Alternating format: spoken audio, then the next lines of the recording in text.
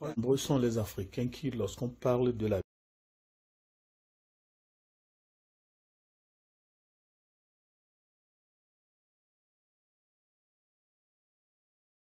nous restons toujours avec le leadership de Jésus.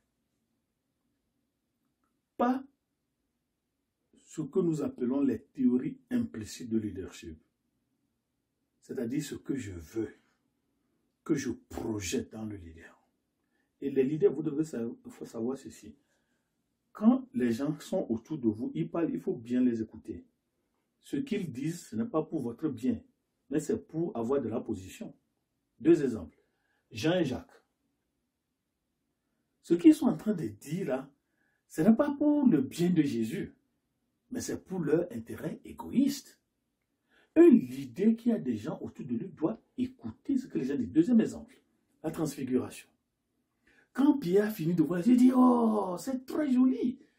Construisons ici, c'est pour son intérêt. Il faut apprendre ça. Alors, aujourd'hui, nous allons parler de ce que j'appelle le repère orthonormé du leadership. Donc, en cours de maths, on nous fait ceci, repère orthonormé. Vous avez ça. Donc, vous avez moins l'infini, à plus l'infini. Donc, nous avons 1, 1, 2, 2, 3, 3, 4, 4, 5, 5. On met une flèche, on met une flèche. On met 0 ici. Ça, c'est l'axe des ordonnées et l'axe des abscisses. Alors, sur l'axe des abscisses, le, le, repère orthonormé du leadership, ici, vous avez Dieu. Ici, vous avez Dieu. Et ici, vous avez les humains. Vous avez les humains. Et regardez bien le repère orthonormé. Donc, pour être un bon leader, vous devez avoir une bonne corrélation avec le haut, c'est-à-dire vers Dieu. Et c'est comme ça que vous allez diviser cela horizontalement vers les humains. Est-ce que c'est clair? Il faut, il faut bien suivre ces choses. Alors, le repère orthonormé euh, du leadership, nous avons moins 1, nous avons moins 2, nous avons moins 3, et même chose ici. Il faut bien suivre. l'axe des ordonnées a des variables. Donc, vous avez les variables ici. On prend x qui est égal à amour, y qui est égal service. Service. Ça voudra dire quoi? Quand je dis que j'aime Dieu, Dieu me demande, est-ce que les gens savent que vous les aimez? Donc, l'amour que nous disons que nous avons pour Dieu se voit à travers comment nous dirigeons les gens. Pourquoi? Les hommes, les humains sont des imago Dei. Donc, ceux-ci sont les images de ceux-ci. Et celui-ci vous voit le leader dans ces personnes. Qu'est-ce que ça veut dire? Quand je dis que j'aime Dieu et je me donne un, Dieu aussi va se demander, est-ce que Dieu me donne vraiment un? Donc, un, ça fait un. Deux, ça fait deux. Trois, ça fait trois. Quatre, ça fait quatre. Cinq, ça fait cinq. Donc, mon amour pour Dieu devient une ligne droite. Et pour nous, les petites connaissances amandes que nous avons, vous avez AX plus BY égale 0. Donc, vous avez l'amour pour les gens et vous avez le service pour les gens. Donc, lorsque Dieu ne voit pas ces choses dans un leader, votre amour pour Dieu tombe comme ça, tombe comme ça vous êtes un mauvais leader, un leader toxique. Vous voyez ça. Donc, c'est pourquoi Jean a dit,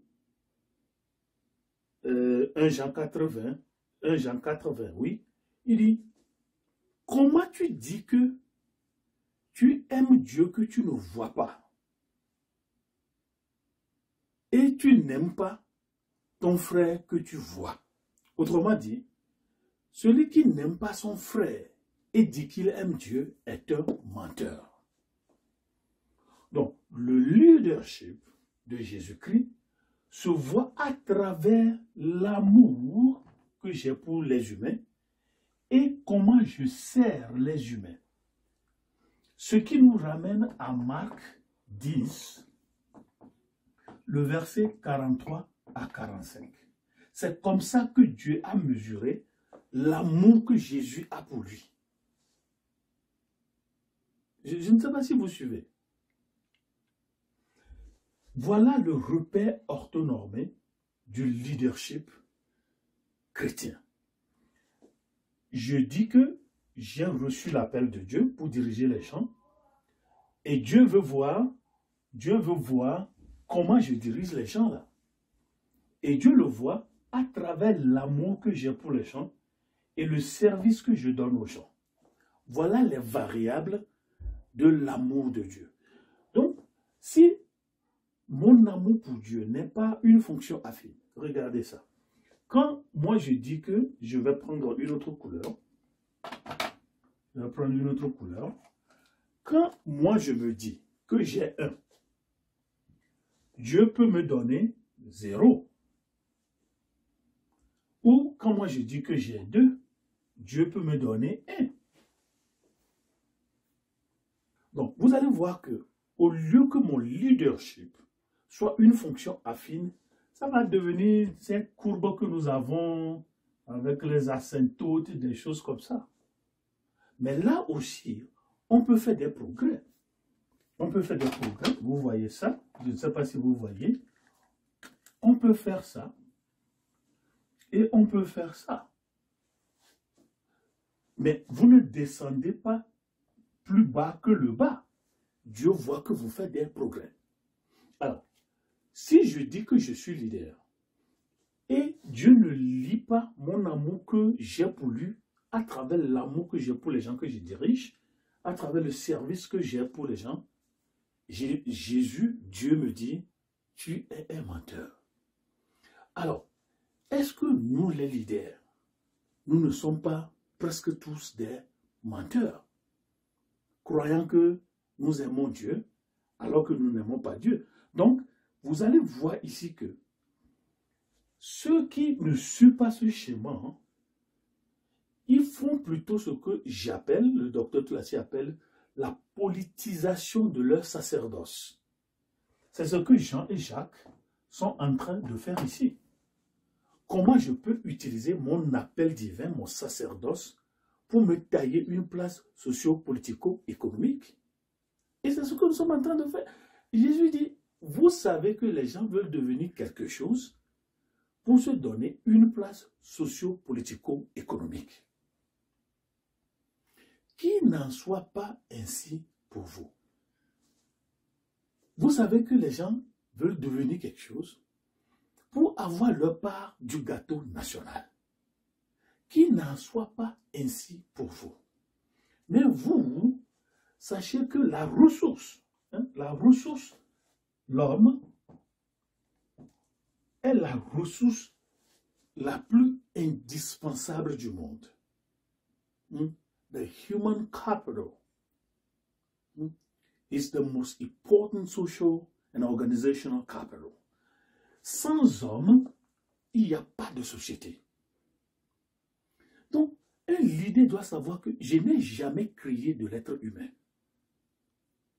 Un facto, les gouvernements doivent savoir que les éléments constitutifs de l'État, le territoire, la population, les ressources, ces choses ne viennent pas de vous.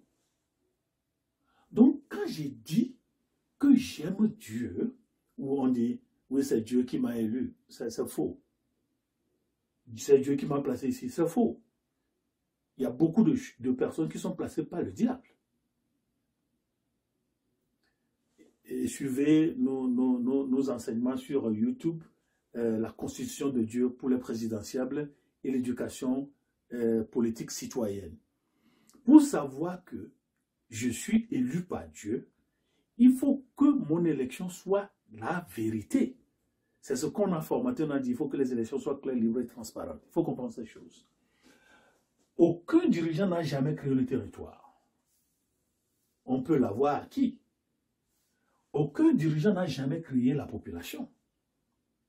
Aucun dirigeant n'a jamais créé les ressources, ni même la volonté de s'organiser. Tout cela vient de Dieu. Alors, si Dieu me donne toutes ces choses et que je ne traite pas ces choses bien, mon leadership, au lieu d'être une fonction affine à x plus b égale à 0, nous aurons des courbes ou des hyperboles difficiles à calculer. Alors, est-ce que votre leadership est caractérisé par l'amour le service